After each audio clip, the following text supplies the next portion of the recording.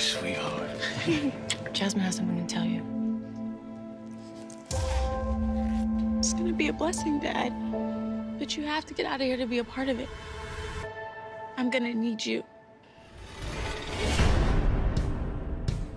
I used to be just like you. I had a wife I loved. I had a family and a home. But then something happened.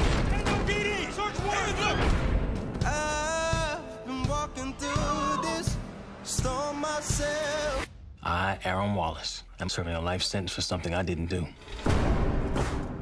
Except today, for the first time, I've got a way to fight back. How are you here? Hard work and goodwill. What's your method? Tell me how the hell this happened. So apparently we figured out some totally insane loophole in the system. Becoming a lawyer is what's getting me out. I know you think your dad is coming back someday, but he's not. Just watch your back.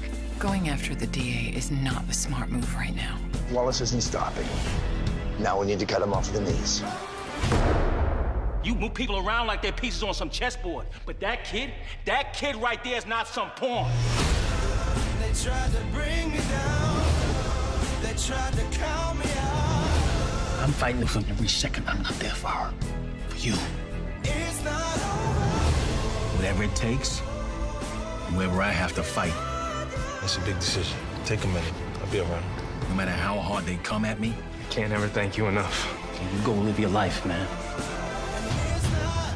It's not over. I will get myself home.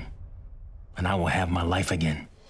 For Life. Series premiere Tuesday, February 11th, 10, 9 central on ABC. Well, that was the trailer for 50 Cent show For Life. The TV series is called For Life. And we're going to talk about it, but some of y'all claim y'all are madder than 50. Y'all so mad at him, you're madder than a bull chasing a short Hispanic with a red cape. That you're not going to watch anything else he puts out, and this is one of his shows. And we're going to discuss it and break it down and give you the backstory because I think this one is worth watching. If you're finding me for the first time, please subscribe to the channel. Be sure to turn on notifications so when I drop videos, you get them. Follow my Instagram when you got TV shows you want me to review or any kind of story that's happening with all our folks out there. You can hit me on Instagram. That has been easier. And also, catch the podcast. For Life is a legal TV show and is based on a true story. It comes on Tuesday, this Tuesday, today, February 11th at 10 p.m. on ABC, and is loosely based on the story of Isaac Wright Jr., who was in prison for a crime he did not commit. While incarcerated, he became a licensed attorney and helped to overturn the wrongful convictions of 20 of his fellow inmates before finally proving his innocence a lot of the people that starred in this thing, you may or may not know him. The main character is going to be Nicholas Pinnock. He's an English actor. Um, he's played in Criminal UK. He's a UK actor, and that was on Netflix. Indira Varma, she's another British actor. She played in A Tale of Love, Luther, Rome, Game of Thrones, ladies and gentlemen.